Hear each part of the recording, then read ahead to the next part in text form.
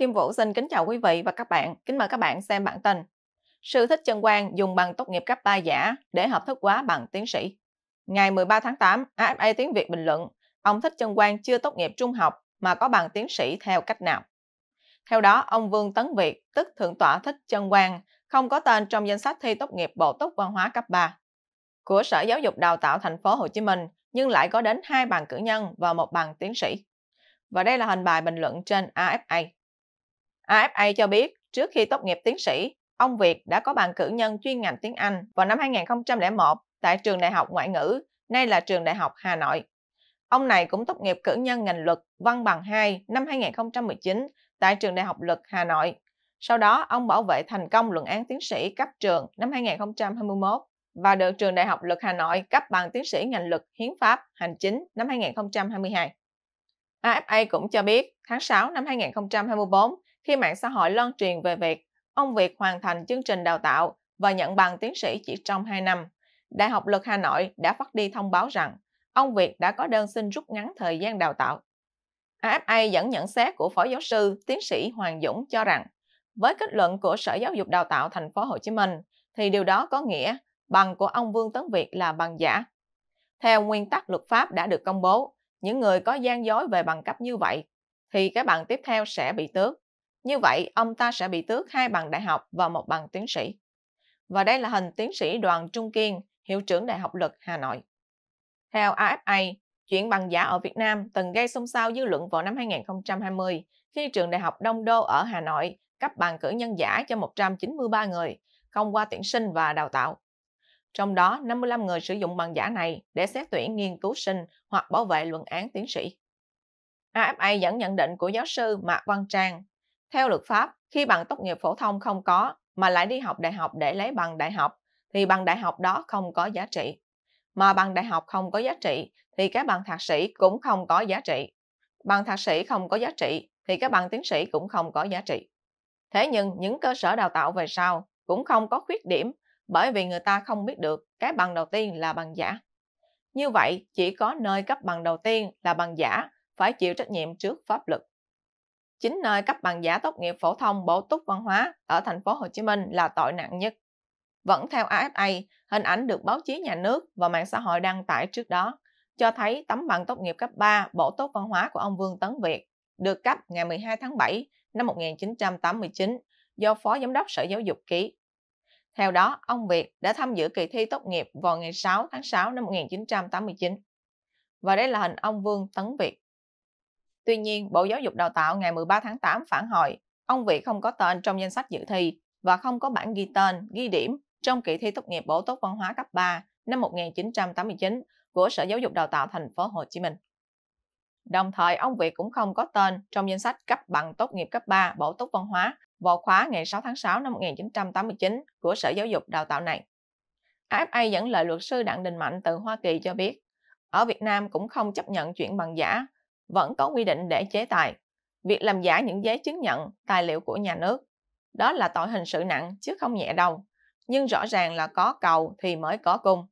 Điều đáng nói là không chỉ người dân có nhu cầu bằng giả, mà chính cán bộ là đối tượng mua bằng giả khá nhiều.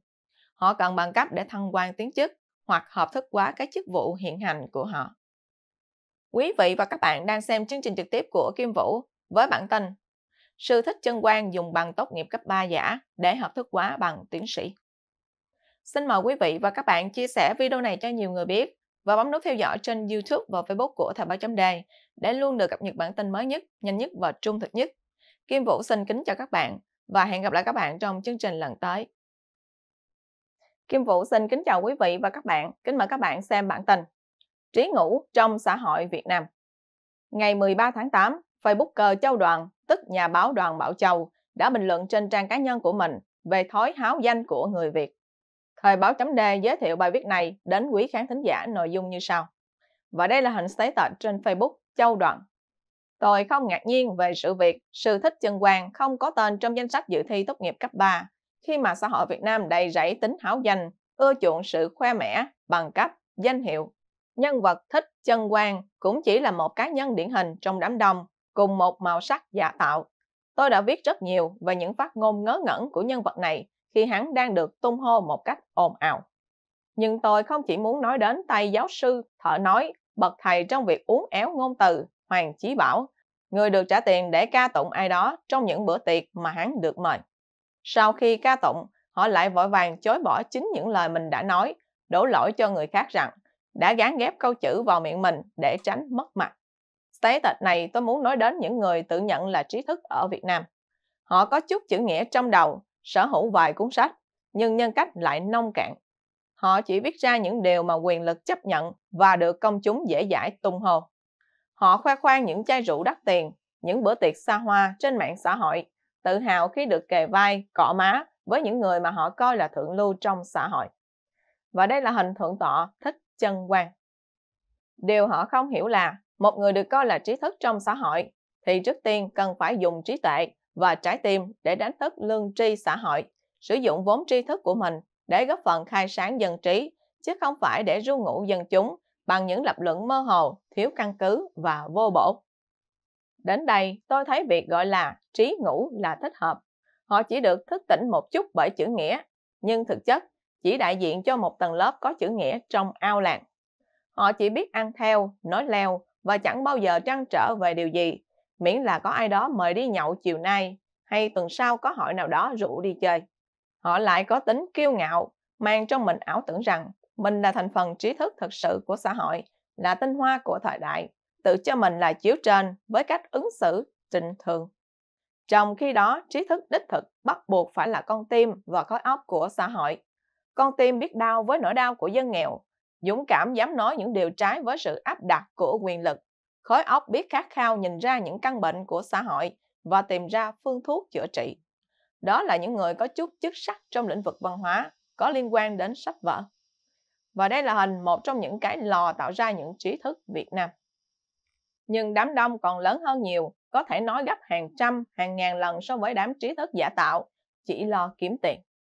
Kiếm tiền là một nhu cầu cần thiết và đáng khen khi được thúc đẩy bởi nhu cầu thực sự của cuộc sống. Nhưng khi con người quá miệt mài kiếm tiền, họ trở thành những sinh vật tầm thường, lúc nào cũng chỉ lo tích lũy cho đầy tổ mà không biết sẽ làm gì tiếp theo khi tổ đã đầy. Họ không cần băn khoăn về ý nghĩa của cuộc sống, cứ ăn, ngủ và hưởng thụ, nhưng ở một đẳng cấp cao hơn mặt bằng xã hội để thấy oai. Tầng lớp ván sữa mà. Số người thực sự đáng trọng trong xã hội, những con người có trái tim và khối óc thực sự biết đọc và suy nghĩ đúng với chữ trí thức thì rất ít ở Việt Nam. Điều đáng buồn là điều này khiến những con người thật sự có lương tri và đáng trân trọng trở nên cô đơn trong xã hội.